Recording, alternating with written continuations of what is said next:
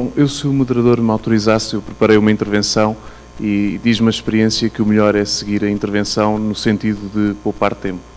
Portanto, penso que, que responderei às questões que foram, que foram colocadas e uh, passarei uh, então à, à, intervenção que preparei. Não sei se será melhor aqui ou, ou de pé.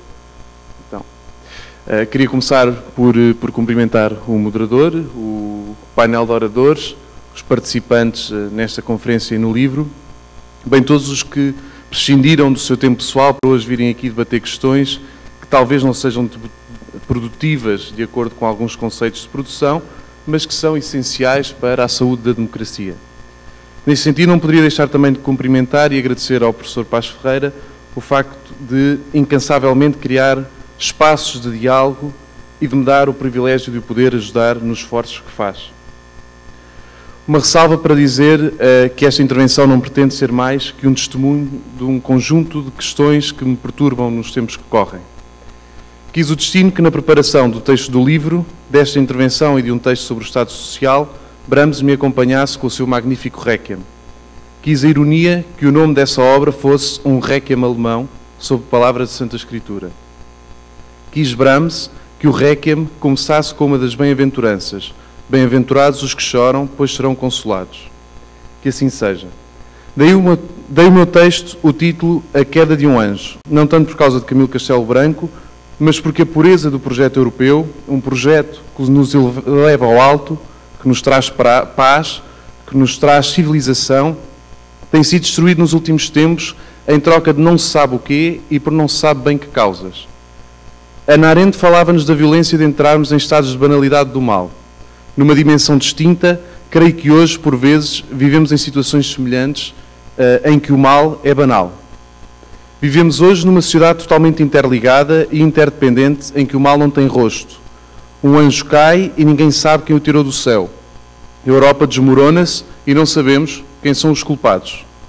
Um conjunto de ações tomadas por um pequeno grupo de agentes, às vezes sem rosto, não eleitos, instalam um estado de medo digno de qualquer grande irmão que nos leva a questionar o inquestionável. Vão as pensões diminuir? Em que termos? Vão os depósitos acima de 100 mil euros ser confiscados? ou serão todos? Vou ser despedido? Vou fechar a minha empresa? Vou, vou perder a minha casa? São um conjunto de interrogações cheias de violência que levam ao desespero, que trocam a vivência pela sobrevivência. Olhemos, por exemplo, para o dia de hoje. O que se passa? O que se pode pensar? Talvez que nós, os privilegiados, que nos damos ao luxo de discutir estas questões num dia de trabalho, em oposição aos pobres desgraçados que todos os dias esperam horas e horas nos centros de emprego para voltarem sem nada ao fim do dia e não discutirem sequer estas questões. E pergunto agora: nós, privilegiados, luxo, damos por nós a sentirmos privilegiados por estarmos a exercer um direito básico de cidadania, porque esta discussão é um pressuposto essencial de uma democracia, porque as decisões e as avaliações não podem ser feitas sem pessoas e à porta fechada. Ainda assim, não podemos deixar de sentir alguma culpa por haver fome porque também ainda assim não haverá quem falte que nos lance alguma culpa. Chama-se isto criar uma linguagem de destruição da coesão social, na qual desempregados não gostam de empregados, novos não gostam de velhos, pobres não gostam de ricos. Todos sabemos a realidade que a linguagem suporta, e recorda aqui Eugênio de Andrade, é urgente destruir certas palavras. E longe vão os tempos em que o desenvolvimento era o nome da paz. Hoje vivemos esquizofrenicamente entre a soberania nacional e a soberania da União. Nenhuma delas funciona de forma eficaz e com, e com frequência até contribuem para uma ineficiência mútua.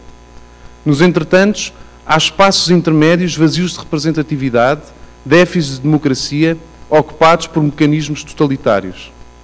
Deparamos-nos com conjuntos de decisões políticas, política com P grande, tomadas por déspotas tecnocratas e folhas de Excel pouco iluminadas. Precisamos voltar à política, à decisão do que está certo em vez do tem de ser. Temos de voltar à escolha e pôr de lado o não há alternativas.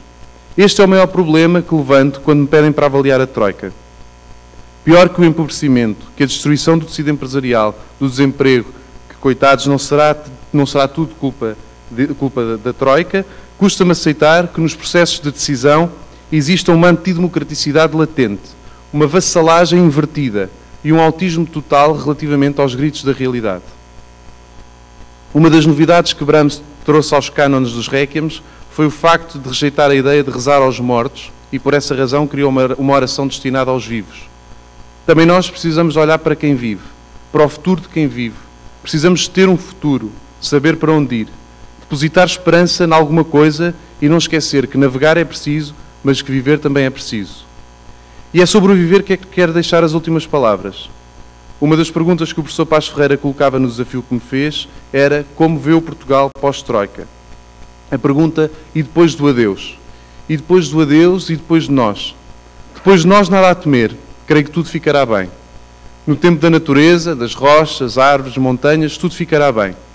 Provavelmente seguir-se-á um período de grande crescimento económico e os meus filhos, já não sei quanto aos meus netos, terão a oportunidade de beneficiar de níveis de bem-estar melhores que o meu. E assim o espero. Mas estou convencido que no tempo dos homens, na história individual de cada, de cada pessoa, permanecerão marcas profundas, terríveis. Ódios, frustrações e medos desta época em que estamos e em que toda uma geração de jovens não tem oportunidade para crescer, para se desenvolver, para criar, para errar, imaginar, sonhar ou liderar. Demorámos décadas a chegar aqui, a produzir a geração mais bem preparada de sempre, para no fim não lhes podermos dar as oportunidades que merecem. O Requiem alemão começa com bem-aventurados os que choram, pois serão consolados, pois que sejam consolados. Gostava que terminasse com bem-aventurados os que têm fome e sede de justiça, pois serão saciados. Muito obrigado.